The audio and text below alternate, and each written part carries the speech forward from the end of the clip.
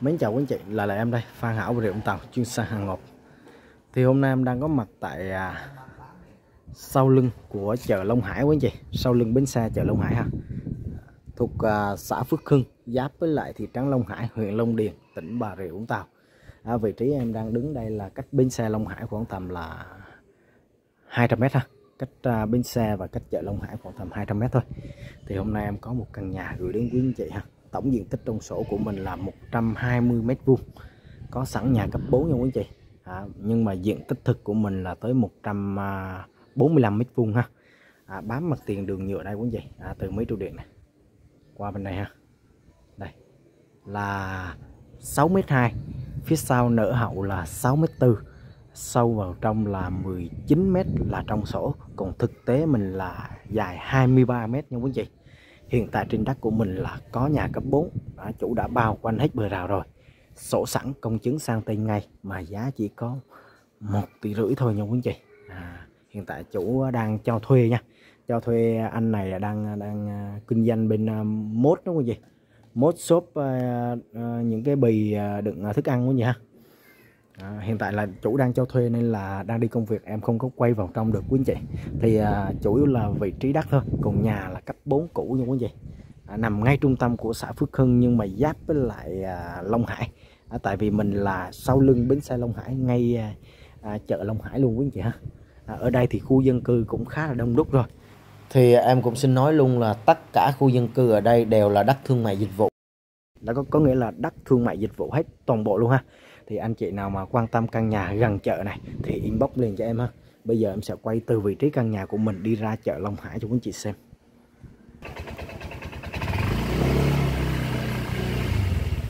Đây à, căn nhà mình đây quý anh chị. À, bây giờ em sẽ quay ra ngay bến xe Long Hải chợ Long Hải ha. Đường của mình là đường 3 mét quý anh chị. Mặt tiền đường nhựa khu dân cư khá là đông đúc rồi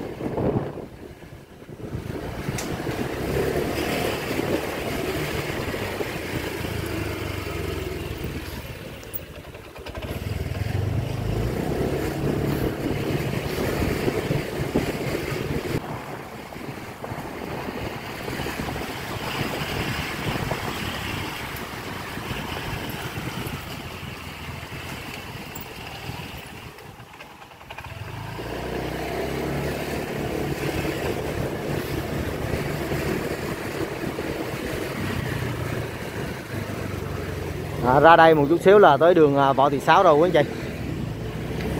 À, mình là sau lưng à, bến xe Long Hải và sau lưng à, đối diện chợ Long Hải luôn ha. Đây.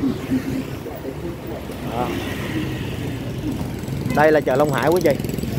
Và đối diện chợ Long Hải là bến xe Long Hải ha. Mình là sau lưng bến xe luôn nha quý anh chị. À, thì đường Võ Thị Sáu này là đường huyết mạch quý anh chị. Đi thẳng hướng này là đi về Long Điền đi về trung tâm của thành phố Bà Rịa ha đi về trung tâm của thành phố Hồ Chí Minh. Đó. còn à, hướng ngược lại đây. À, hướng ngược lại là đi về biển ờ, Long Hải. Cách biển Long Hải khoảng tầm là 2 km. Đó. đây đây là bến xe quý anh chị. Xe Hoa Mai toàn thắng à, anh chị đi từ thành phố Hồ Chí Minh đi về biển Long Hải là tới bến xe là đi bộ vào căn nhà của mình luôn ha. Đó, đây là xe Hoa Mai quý anh chị. Xe Hoa Mai này. xe Hoa Mai đang đi về thành phố Hồ Chí Minh quý anh chị anh chị ra bến xe là miền Đông hoặc bến xe miền Tây thì lúc nào cũng có xe Hoa Mai Toàn Thắng hết ha. À, mình là sau lưng bến xe đối diện chợ Long Hải à, gần biển luôn. À, anh chị quan tâm thì inbox liền cho em. Bây giờ em sẽ quay sổ và soi quy hoạch của anh chị xem luôn ha.